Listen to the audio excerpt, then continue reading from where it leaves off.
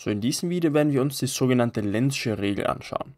Und mit der Lenzschen Regel, mit der kann man bestimmen, in welche Richtung bei der elektromagnetischen Induktion der Strom fließt. Und um das zu verstehen, schauen wir uns dieses ganz einfache Beispiel hier an. Wir haben ein Magnetfeld, ein Magnetfeld B, das diese grüne Leiterschleife hier durchdringt. Das heißt, dieses grüne Material, das ist irgendein elektrischer Leiter. Und wir wissen, wenn wir jetzt irgendwie den magnetischen Fluss durch diese Oberfläche verändern, dann wird in dieser Leiterschleife ein elektrischer Strom erzeugt. Und wir wollen wissen, in welche Richtung fließt dieser Strom dann. Und wir schauen uns beispielsweise mal an, wie sieht das Ganze aus, wenn wir dieses Magnetfeld ganz einfach verkleinern. Das heißt, wir verkleinern dieses Magnetfeld, dadurch verändert sich der magnetische Fluss durch diese Oberfläche, der wird eben kleiner und dadurch wird dann in dieser grünen Leiterschleife hier ein Strom erzeugt.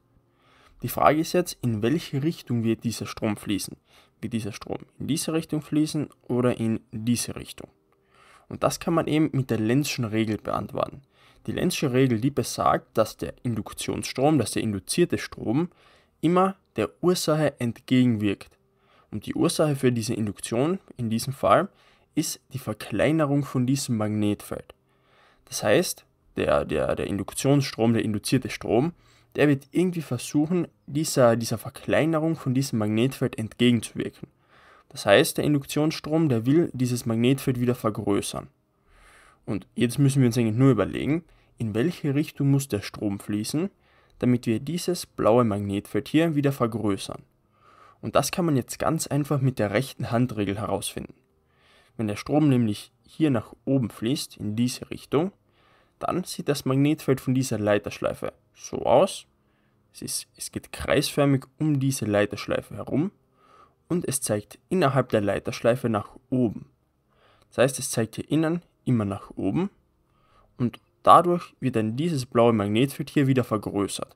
Und genau das meint man, wenn man sagt, dass der Induktionsstrom, dieser Induktionsstrom hier, der wirkt der Ursache für die Induktion, also die Verkleinerung von diesem Magnetfeld, der wirkt dieser Ursache entgegen. Und jetzt können wir uns zum Beispiel auch überlegen, wie würde das aussehen, wenn wir dieses Magnetfeld nicht verkleinern. Das heißt, wir verkleinern dieses Magnetfeld nicht, sondern wir vergrößern es. In welche Richtung muss dann der Strom fließen? Und zwar, wenn wir dieses Magnetfeld vergrößern, dann wird der Strom nicht in diese Richtung fließen, sondern in diese Richtung, weil dann sieht das Magnetfeld von dieser Leiterschleife so aus, wieder kreisförmig um diesen Leiter herum, aber diesmal zeigt das Magnetfeld innerhalb der Leiterschleife, hier also nach unten. Das heißt, dieses Magnetfeld wird wieder verkleinert und du siehst, dass dieser Induktionsstrom, dass der immer irgendeiner Veränderung von diesem Magnetfeld oder genauer gesagt von dem magnetischen Fluss durch diese Oberfläche, dass, der, dass dieser Induktionsstrom immer versucht, zu einer Veränderung entgegenzuwirken. Das heißt, zu einem Magnetfeld, dem, dem ist es am liebsten, wenn es sich einfach nicht verändert. Und wenn du es jetzt irgendwie schwächer machst, dann versucht es durch so einen Induktionsstrom wieder stärker zu werden. Und so kannst du diese Lenzsche Regel verstehen. Mit dieser Lenzschen Regel, die ist auch die Ursache dafür, dass wir in der Formel für die Induktion, die sieht ja so aus, und zwar ist eine induzierte Spannung gleich minus der Änderung des magnetischen Flusses nach der Zeit. Und dieses Minus, das kommt von dieser Lenzschen Regel. Diese, Induktionsspann diese Induktionsspannung, die ist immer dieser, dieser Ursache der Induktion, also der Veränderung des magnetischen Flusses, entgegengerichtet. Daher kommt dieses Minus. Im nächsten Video werden wir diese Lenzsche Regel dann auch wieder brauchen.